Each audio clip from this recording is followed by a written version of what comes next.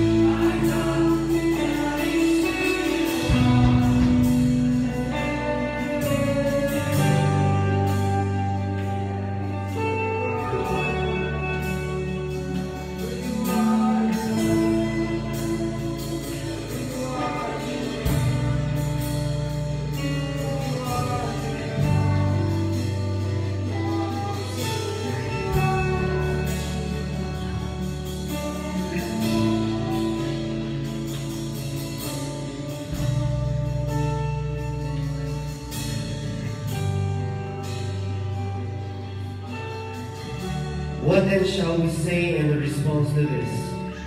If God is for us, who can be against us? He who did not spare his own son, but gave him up for us all, how will he not also, along with him, graciously give us all things? Who will bring any charge against those whom God has chosen? It is God who justifies. Who is he that condemns? Christ Jesus, who died more than that, who raised to life, is at the right hand of God and is also interceding for us. Who shall separate us from the love of Christ? Shall trouble or hardship or persecution or famine or nakedness or da- danger or sword? Who can against us at such a time? If we put our trust, if we put our faith in Jesus alone. His name is above every name. And even tonight we worship Him. He's the way maker. He's the way maker. Come on, let's sing this chorus one more time. He's the way maker. He's the way maker. Come on, let's sing it. Waymaker, miracle work, promise keep, light in the darkness, my God, that is who you are. That is who you are.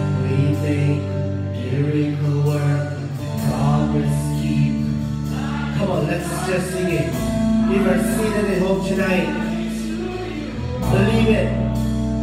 Let's believe it. We'll sing. He's a way. Who can be against us? When Jesus is making the way for us, who can be against us? Who can stop us?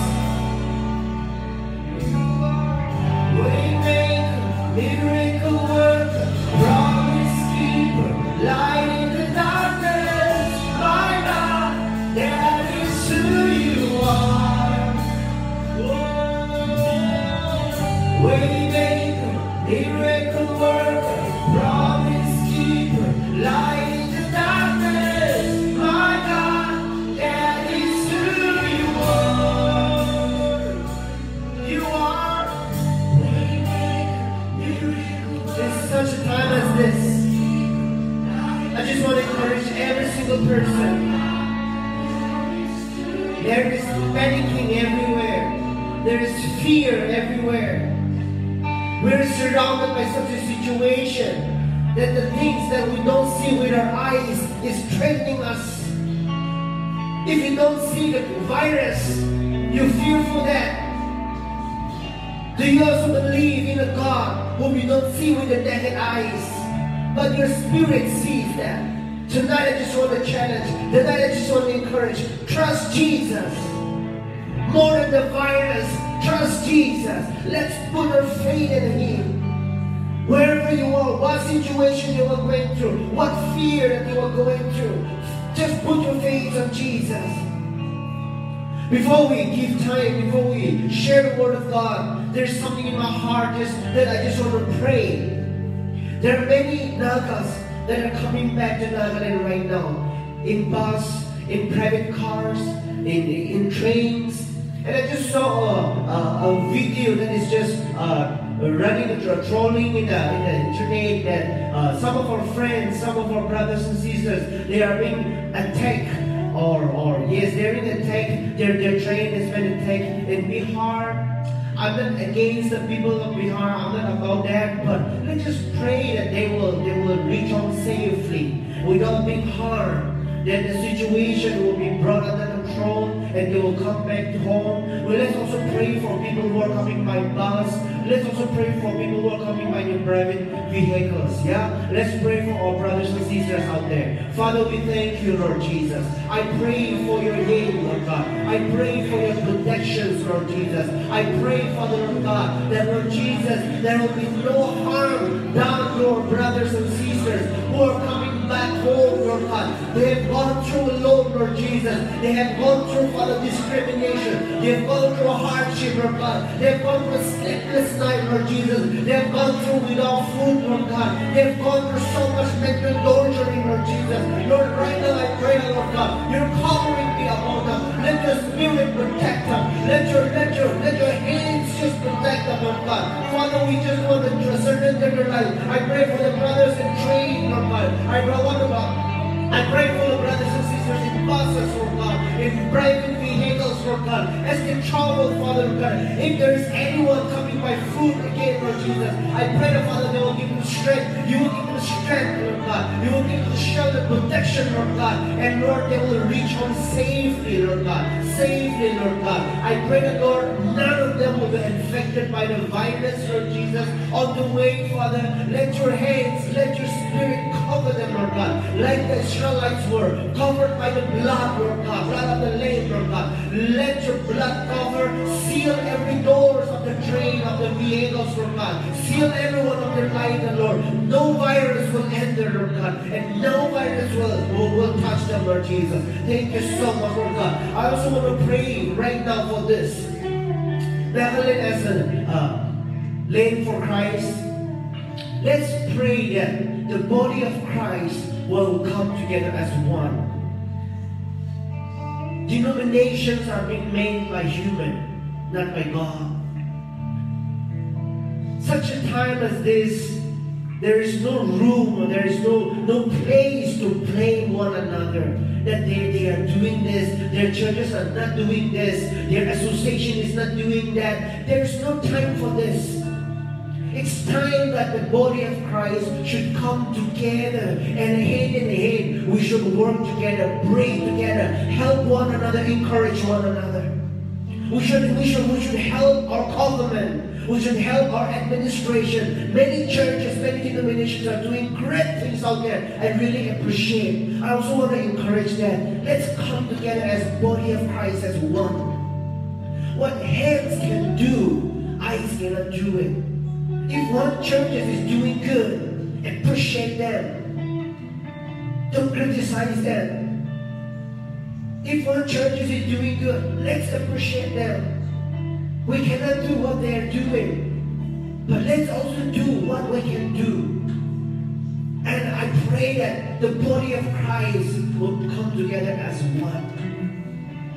And in all this, Jesus will be glorified. Jesus will be lifted up.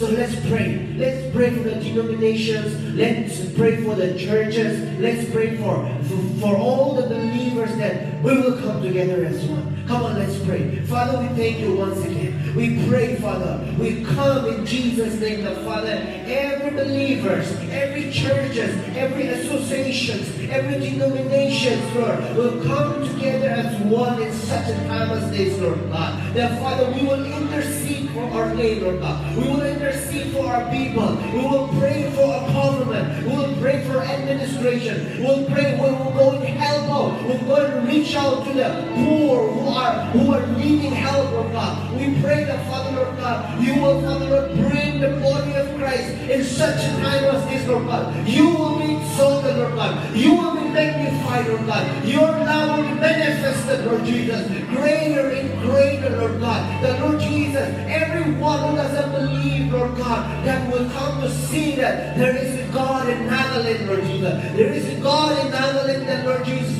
you are protecting them, Lord God. The people will see the, the, the, the love, the, the glory, the beauty in the body of Christ, Lord Jesus. So, Father, I pray right now, Father, every denomination, every churches, Father, will come together as one, Lord God. There will be no competitions, Lord God. There will be no discrimination, no criticism, Lord God. But Father will come together as one, Lord God, and appreciate one another, Father. We thank you so much, Lord Jesus. We thank you, Father. I pray for the pastors, Lord Jesus. I pray for the evangelists, Lord God. I pray for the prophets and teachers, Lord God. I pray for the, uh, uh, the, the, apostles, Lord God, who are doing their best, Father. Lord God, to feed the spiritual food to every person, Lord God. I pray that, Father, you will help and you will protect them, Father. Lord, I also pray for our government, our, our, our leaders, our chief ministers, Lord God, our, our frontline workers, police, uh, doctors and nurses, all the NGOs, Lord God. I pray that you will take care of them, Lord God. You will protect them, Lord God. And Father, we will come through this such a time as this, Lord God. If you are with us, who can be against us? If you are with us, Lord God, who can stop us, Lord Jesus? So, Father, we thank you. You are the way maker. You are a promise keeper. And everything that you have promised in your word, it will come true. So, Father, we thank you. We bless your name. We give you glory. In Jesus' mighty name, thanksgiving we pray. Amen, amen, amen. Thank you so much, worship team, for leading us into worship. Those who are watching online, um, I pray that tonight you're gonna have an encounter. I pray that uh, um, you will you will have a new and different experience tonight. Uh, it's been a few months. All of us were experiencing. I'm sure all of you see that down there. You're longing to come back to the church. And when I say church, uh, I know everybody will think that okay, uh, I am church. But when I say church, uh, I, I meant the fellowship of the believers. Okay, so like I'm sure all of you will be longing to come to the church and fellowship with one another, uh, meeting your friends, worshiping together. So uh, I'm I'm sure you're longing for that, and I'm telling you, uh, very soon it's coming. Lockdown will be lifted up, and I'm sure we will be coming together and worshiping Jesus together. Yeah. So um, uh, Jesus is greater than uh, the virus. Yeah. Jesus is name above every name. So yeah. Uh, don't don't lose your heart. Uh, don't let fear overcome you, and don't let the the, the, the, panicking or the depression overtake you. But uh, continue to believe in Jesus Christ. Um, Tonight we have a wonderful speaker. Um, really, really appreciate this man, uh, the, the, the humility that he carries and the servanthood that he carries. Uh, every word that he releases, it's always filled with wisdom and anointing. Um, if you look at him, like the way he speaks, you might think he's more than 40 years, uh, but uh, he is not even 30 years, okay? Uh, so like uh, more than his age is so wise, so anointed. We're so honored and privileged. Uh, he, uh, tonight I just want to invite our youth evangelists of the Lighthouse Church, Atem Demo, to come and share the word of God. Yeah, so get excited. Yes.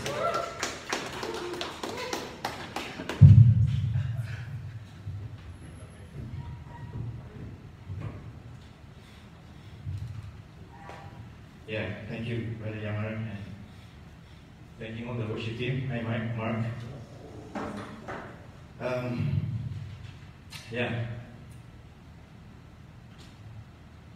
excited to be here, and I want to welcome once again everyone who is joining us. Um, before I start, you know, I want to share my excitement. Why I'm excited. One of the reasons why I'm excited tonight. Um, before that, just tell a story. You know, there was a boy, and you know, who, who loved playing football, and then um, he was not that good player, but he would always come to the ground along with his father, and then, um, you know, his hand on, on the shoulder of his father, he would bring his father along with him, and then he would play. Um, he was not that excellent, I mean, that, that, that good player. He was always in the substitute, and then uh, most of the time, okay. But after some time, you know, one day he came to the coach and said, uh, Coach, I, I cannot come tomorrow to play because my father passed away and uh, I'll have to attend the funeral. And what happened was after the funeral, after a couple of days back, he came back and then he asked the coach, he says, Coach, can I play in the front this match, this time? And the coach says, No, they are much better players than you. How, how can I, I allow you to play? He requested, even for some few minutes, can I just just play? And then he somehow adjusts and then you know let him to play. But you know the, the thing was that um, that evening he played his heart out. He played it so well that everyone was shocked. Why? You know? how could he play that much? And then even the person that was replaced with him was a good player, was suggesting the coach, hey, you, you, you made a good decision this evening. And after the match was over, it's, it's, the coach came and asked the boy, um, you know, how could you do that? I know, why was you so good this evening, this match? And then he said, um, my father was blind all this time. And he said, this was the first match that his father was going to watch him play. And so he played his heart out. And the point is, um, this evening, for the first time, my parents is joining with us along with you guys. They're also on Facebook. So I'm so excited because they are watching me for the first time. And so that's why, not that they have passed away, okay? They're still alive. Just that they're in another side of the world. I mean, not another side, but in, they're in relation. Then um, my sister got to go home and then they're watching along with her. So that, that's the reason. I'm really excited. Um, whoever have joined this morning service, um, it was a beautiful time, a powerful time. Our brother Kali talks about the altar and the importance of altar, and then you know just so a few things really you know hit my heart. He talked about your altar will lead you to your destiny. And he was putting up some few questions. Where is your altar? How is your altar? How, how are you keeping your altar? Your place of worship, your place of encounter. How are you keeping it? And because I was about to speak some somehow related with that, I was preparing to talk about resting in God. And so, yeah, um, or I would say victory from the place of rest in the presence of God. And I want, I want to share those things with us this evening. There's a few things that was in my heart. As believers, um, you know, we, we have this privilege and we have this invitation every single time to come back and, and rest in the presence of God. Whatever we go through, no matter whatever season that we have gone through, we, are, we always have this invitation to us from the Father to come and rest in His presence. Doesn't doesn't matter how much we have fallen back, doesn't matter how much we have gone dry in our life, in our spiritual life, or doesn't matter how far we have gone, His invitation is always for His sons and daughters to come back and rest in Him and to re-strengthen ourselves in His presence. And that's a beautiful picture, that's a beautiful invitation that we, all of us, we have. And everyone deserves that. Everyone is invited to that. And so I want to talk some few things about that this evening. I I I make sure that I don't and I'm not taking too long, maybe 20 to 40 minutes maximum. And so I'll try to wrap up and I'll try to share, make use of the, the time. Um, when I uh, when we talk about resting, it's, I'm, I'm talking about resting upon what the cross has done for us. And resting on, on on who God is. When, you know, um, when Jesus said on the cross, it is done, I want to tell every one of you that even the COVID-19 is included. When Jesus said on the cross, it is done. It was for the thing that has happened, it is for the thing that is happening, it, it was for the thing that is about to happen. It was done for all. But in such a time as this, this is not the first time that we are in a human history that we are, we are facing this kind of crisis. Of course, not in this way, but humans have faced crisis in so many different different ways. And the thing is that crisis comes with two things. It will either break you or it will make you. To which one we allow. That's the point. So I want to share with every one of us that in such a time as this, it would be much beautiful if we can make use of the time and if we can go and maybe we, we can check ourselves where our altar is, where our resting place is. Learning to go back and just sit the face of God. And another thing is, you know, Jesus was never surprised with any storm or anything that was happening. He was never surprised with any any sickness. He was never surprised, even even that was not a surprise for him. He was never surprised with whatever storm that was in his way. And you know, Lazarus died just a couple of days back. Like Jesus reached, and then and he, he, he did not reach on time. But the thing is, it's not that Jesus did not care about the death of Lazarus. But the point is that he had that peace and he, he Jesus was always in a place of rest where he was confident about what Father can do. He was confident on who Father is and who he is. And in that identity, in that truth, he has always walked and in that peace and in that resting place. And his heart was always in a place of rest. Um,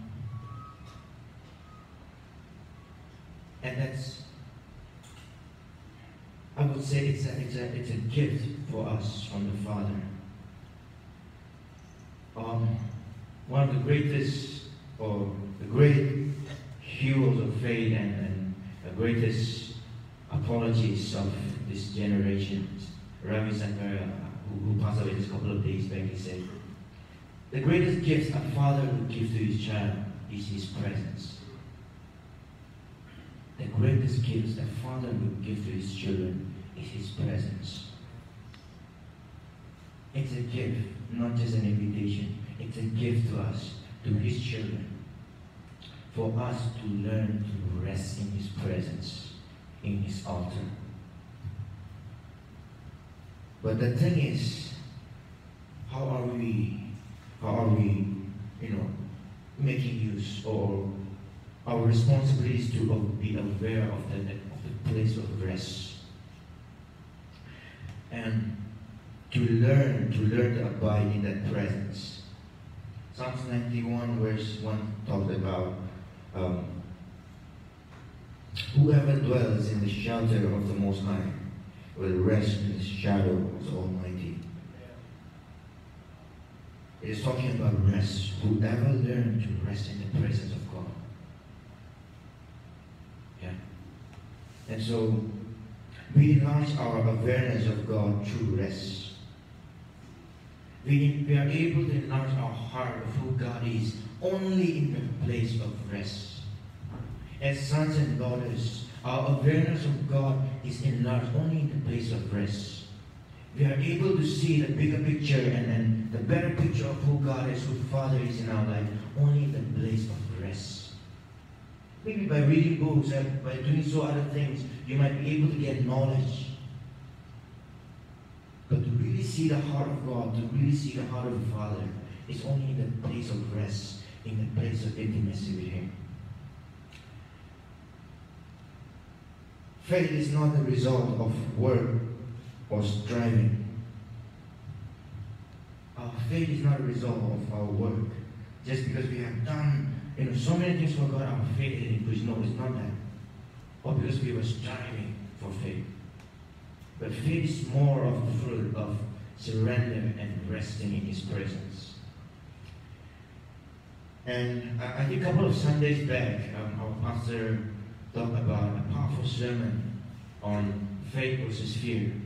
If, you are, if you haven't, you know, heard the sermon, you can check out our Facebook page from the Lighthouse Church, and then you can scroll down a couple of Sundays back and, and watch the sermon on faith versus fear. It's a powerful sermon.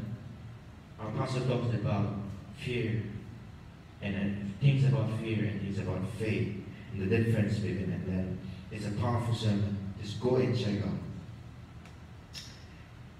And so faith is a fruit. It's a fruit that grow from the place of rest. And so yeah, Jesus um, let's go to um, Matthew 14, verse. I'll read for every one of us. There we can see a beautiful encounter between Peter and Jesus and his and his disciple, but specifically between Peter and Jesus, where we have heard about the story where Peter walked on water. And it says in, in 24, I- I'll not read the whole thing, but I'll start from there. It says, And the boat was already a considerable distance from land. By the way, because the wind was against it, shortly before dawn, Jesus went out to them, walking on the lake. When the disciples saw him walking on the lake, they were terrified. It's a ghost, they said and cried out in fear. But Jesus immediately said to them, Take courage, it is I. Don't be afraid. Lord, if it's you, Peter replied, tell me to come to you on the water. Jesus said, Come.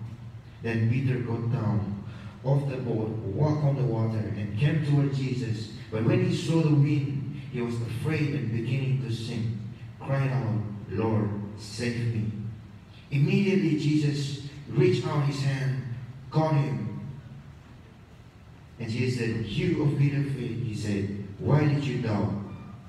And when they climbed into the boat, the wind died down. Here's a beautiful picture of Jesus teaching Peter to focus in him. And, and the point is,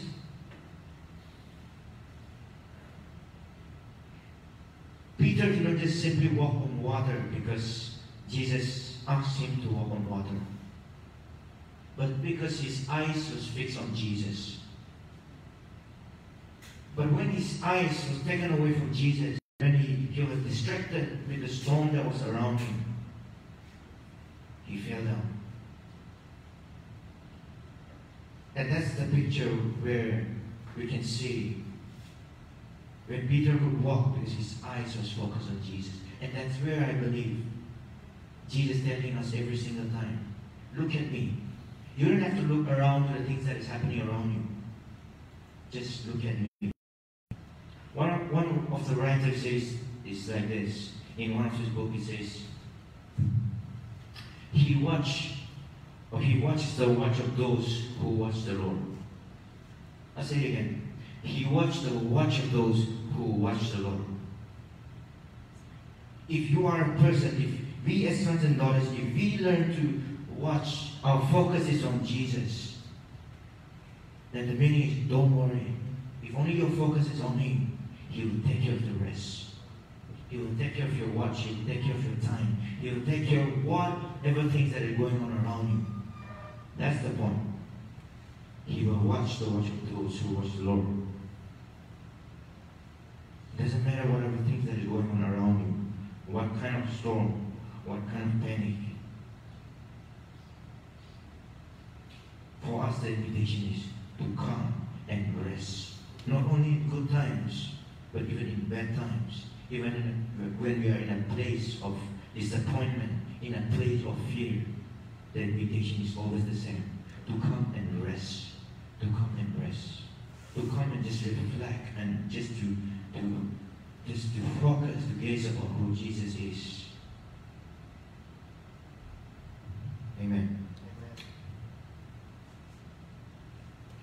And one word from God is more powerful than thousands good words from good intended friends.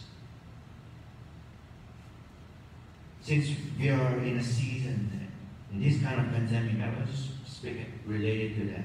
Doesn't matter how many people, maybe many people might come and encourage you not to fear, not to be afraid of.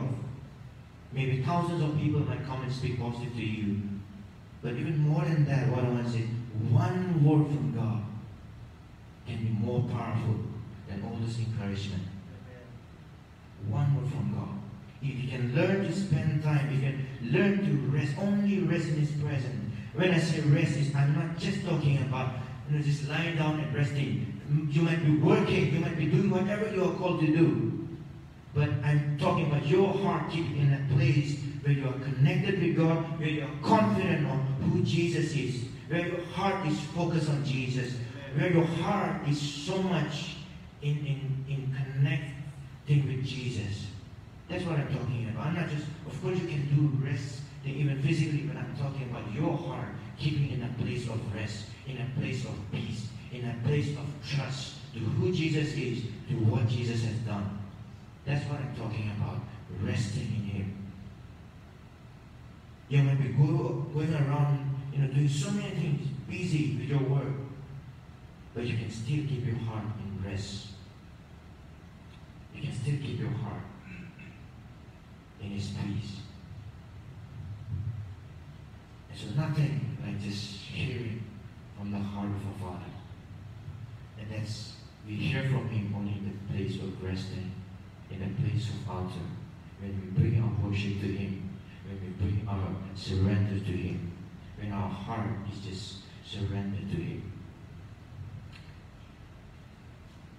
And you can never rest with fear in your heart. A man who has fear in his heart can never rest. Doesn't matter how hard he tries, he can never rest with fear. Because fear and rest cannot be done at the same time. Either you have fear or either you have rest. The virus can kill your body, maybe physical body, whatever that is happening right now. But fear can kill your spirit. Fear kills your spirit. And so I think we should be more aware on checking on where our heart is. Whatever we are going through, whatever crisis and pandemic that we are going through, this is not going to be eternal. It has come and it will go away. Like I said before, crisis comes. Many crises have come and gone. Many wars have come and gone. But the thing is, what will you allow to grow in your heart in this kind of season? What fruit will you bear? What fruit would you allow to bear? Good you give in you in, for yourself? So it will either break you or it will either make you. I want to encourage every one of you. Let this time, let this season allow to make you better, much better than ever before. Every one of us, many people we have been hearing that, okay, I miss those old days. I miss those couple of months back. I want to be, you know, though there were people who don't want to go to school or don't want to go to college or maybe office or things, whatever we have been doing. Maybe there were so many things that we didn't want to do, we were lazy about, or we are fed up of doing it, but now everyone's missing the same old thing. We are wishing that I wish I can go out and work again or do something again. But I would encourage you, why don't we look forward? Instead of missing the old thing, the old experience, maybe in this kind of time, in such a time as this, why don't we just check out what we have been doing? And if there are things that needed to be changed, can we look forward to change? Not simply missing the old experience. But let this time be a time where we readjust our life, we readjust the things that we have been doing. And so we are, you know, let's look forward with that excitement. Because the time that we are living in it, it has come and that we are living on it and it will go, it will pass by. We will experience another good times, another breakthrough, another miracles. But how are we letting, how are you letting this time go, pass by? What are you taking out of it? That's a question for every one of us. Embracing fear is rejecting love.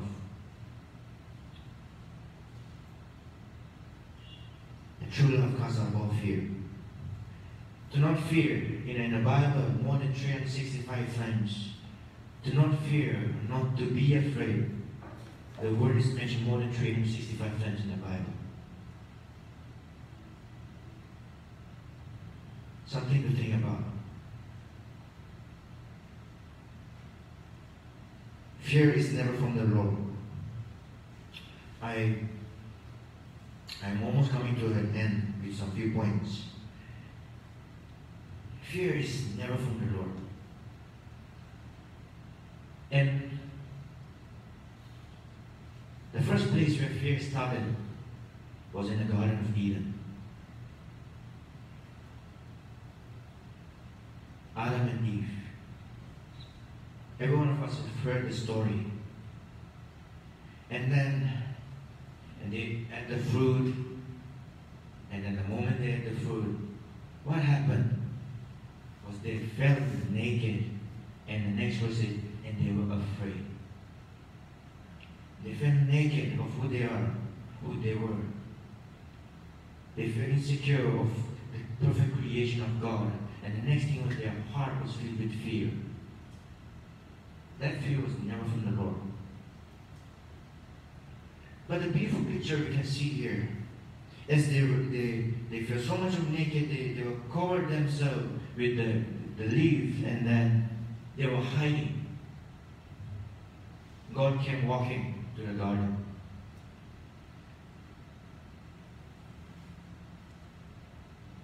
And the next thing God asked to them was, Adam and Eve, where are you? And I don't think God was asking them, you know, their physical location was not a problem for God. It was the garden that God Himself created. It was not a problem for Him. Maybe God was not saying, oh, this is such a huge place, where can I find them? But I believe God was asking about their heart. Where are you? Where are you keeping your heart? I don't think I have given you that heart of fear. I don't think I have given you that, that feeling of nakedness, rejection. I don't think I have given you that. I believe that was what God was asking. Where are you? If they can hear the footstep of God, then God definitely know where they are. But he was asking these questions. Where are you? I believe it was about their heart, about what they were feeling in their heart. And you know the next question was, they came out and they explained what they had to explain. They say it was they start blaming, you know, Adam put on the way to Eve, Eve to the serpent. And they start saying, you know, we feel we felt naked and we were afraid when you came. But the second question God asked was, Who told you? Who told you? The first question was, Where are you? And I think that's the question that comes to us every single day. Where is your heart? Where are you keeping your heart? And maybe we, all of us will have our own ex, you know, explanation of why we are afraid of, why we are confused about, why we are doubting, why we are feeling rejection, why we are you know, in so much of condemnation and, and so much of this you know, complaint and everything. But God will ask again, who told you? Who told you that you were naked? Who told you that you were supposed to afraid? Who told you that you cannot make it? Who told you? Who told you? That, you- that was the question.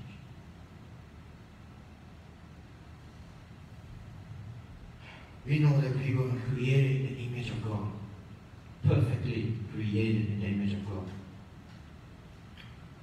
For us to know, the Bible says and talks about, Jesus said, My sheep hears no voice. And our, even this morning, you know, something really powerful that I've heard from our, brother Tali was sharing about. If you're not able to hear from the Lord, that means we have to check where our altar is. If you and I stop hearing from the Lord, I think we need to check out where our heart is yet, where our place of rest is. Because there's already this promise and declaration that He sheep will hear the voice of the master. His children will definitely hear the voice of his father. And if we are failing to hear the voice of God, Because I have said in the beginning, it is not a surprise for God that COVID 19 has happened. It's not that God is taking break to speak to you. Maybe this pandemic season I will stop speaking to you know these people. God is not in a quarantine. Amen. Yeah. I don't think he's very much. He can speak anytime. There's no need of much for God. There's no need, there's no, um, you have a rules, even for the vehicle, where odd number and, and even number is different, but I, I think God is both. The even number and the both, and then even in the extra day, like Sunday, he still goes around trying to speak to his children. We have we only have to tune in to where he is. Yeah. So where are you keeping your heart? That's the question this evening I want every one of us to ask to ourselves. Where are you keeping your heart? Are your heart being entertained by the social media or whatever things that is happening? You know, our heart, our, we are responsible for our own heart, okay? The problem in our heart has nothing to do with the other person. People say, oh, she broke my heart, I broke my heart. Oh, um, I broke my heart. I not break my heart. Maybe, but you know, people say that she broke my heart, he broke my heart. You know, my heart is broken into pieces. But I'm telling you, if you if someone can break your heart because you have given your heart to them. No one can break your heart until and unless you give it to them. The point is you are in charge of your heart. You are responsible for what is going on in your heart, for what happens in your heart. You are responsible. And you are responsible for where your heart is even right now. That are your heart entertained by the things that is happening around you? By what people is saying, what people are saying, we definitely have to be aware. We should be aware of what is going on. What is happening in the world. We cannot be, you know, we cannot look ourselves somewhere and then, you know, okay, I'll just spend time with the Lord. I don't care about what is going on. That's not right.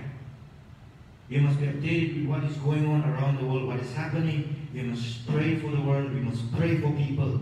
We must be aware of what is going on. But the thing is that many times we allow those things to overtake our faith.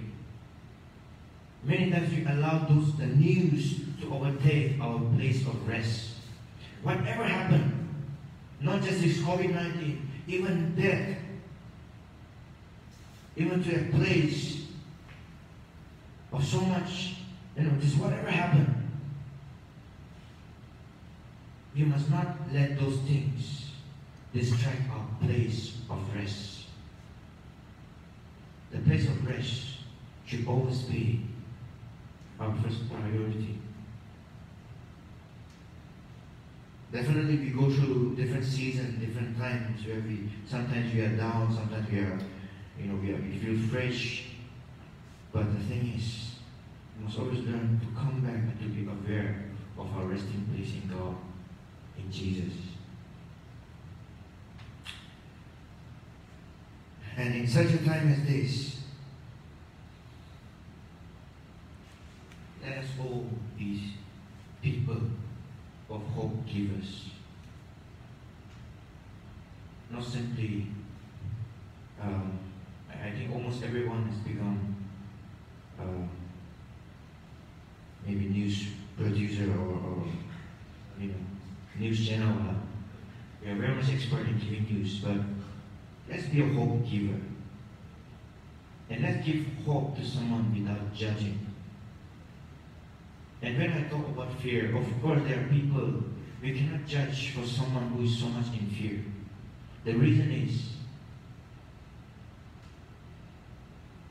why when people there are different people who are, very much in, in a panic for what is happening, is they have their own reason. We don't have to judge. What we only have to do is you must give hope. And the reason is, everyone they seasons. Some of them they are afraid of this pandemic because maybe they have gone through death in their family. Maybe they have gone through different kind of sickness in their life or in their family. Maybe they have they have lost their loved ones or they have seen different kind of this this those dysfunctional things happening in the family. And so maybe even this time, as they are hearing this news, maybe they are panicked. So the things we don't have to judge. Everyone will have their own reason of why they're afraid or why they're panicking. But our responsibility is to simply give hope that there is a God, that our hope is in Jesus. Just to give hope that God is still working, that there's miracles still happening, that there's hope for the whole world. That's our responsibility to let people know, to give hope to people. And both hope and hopelessness are contagious. It is also more like this virus. It's contagious. If one start a conversation with a hopelessness, it pass on like this virus, one after the other. One person stop the flow and start giving hope, then that flow start, the flow of hope starts. So let's make this time where we learn to give hope to people. And be the church, be the light. When Jesus came to earth, this is where I'll be ending, and I'll be praying for every one of us. Jesus said, I am the light of the world. He kept telling the world that I am the light. But one beautiful thing is, you know what Jesus said before he left? Now you are the light of the world. He kept telling that I am the light. I am the church. Before he left, he said, You are the church. You are the light. You are the salt of the earth. That's what Jesus said. So what are we going to do about it? What role we are supposed to play with that? And we can never be a church. Churches, we are not talking about a building. The Bible says your heart is the temple of God. Your body is the temple of God. Which means you are the church of God. And so we cannot be church to someone, we cannot be the light to someone if we have not received the light from the light giver. And we can only receive that light from the place of rest, from the place of altar, from the place where we are confident of who Jesus is. Many times it's not easy for us because we go through different kind of season in life, different situations that we face. I'm not saying it's easy. But what I'm telling is push ourselves. Somebody says this. One pastor says this. If you don't feel like praying, then pray until you love to pray. If you don't feel like singing, if you don't feel like praising, if you don't feel like worshiping, then worship until you love to worship. Sometimes you have to push ourselves. It says the spirit is willing, the, the flesh is weak. We have to keep, you know, pushing our flesh to agree with what the spirit is willing. Many times it's hard for us. If you're lazy, we are distracted with so many things. But what I want to say is push, keep doing it, doing it until you love to do. Try to rest in the presence of God until you love to rest. Until you are in love to be in that place. Just push yourself. Yeah.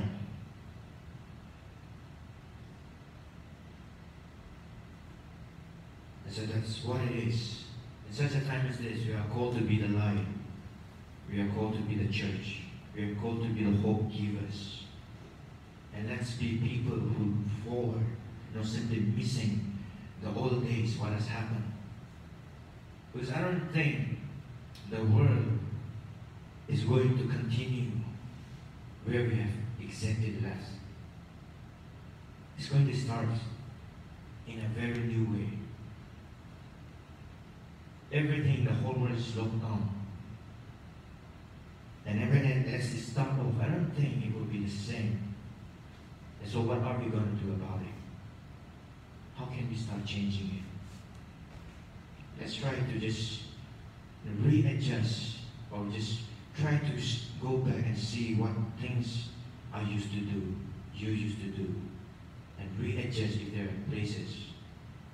Yeah, amen. And so let's all be still and know that God is in control. Be still and know that I am God. That's what the Bible says. So let us all be still. Be peaceful in our heart. Our heart in a place of rest and know that He is God. Amen. Let me pray for every one of you who are joining with us. So, yeah. Hallelujah. Father, I thank you. I thank you this evening. And I thank you for your still good. And I thank you for your still working for our good. And I thank you. I pray for every single person joining with us even this evening, watching us from their own homes. Father, I bless every single one of them. I bless their heart, Father. And I pray for every single one of us here, Father. We pray the Lord God in such a time as this, we'll be able to rest in your presence. We'll, as sons and daughters, as sons and daughters, we'll be able to seek your heart and to seek the place of rest, to be in the place of rest and be the light to people in need of Father. So I want to thank you for this time, Father. We, we, we thank you for your presence. We thank you for what you want to do, what you are doing, what you will be doing, Father. We thank you. We thank you for this beautiful moment. We thank you, Jesus. In Jesus' name we pray. Amen. Amen. Thank you for joining us. Have a good evening.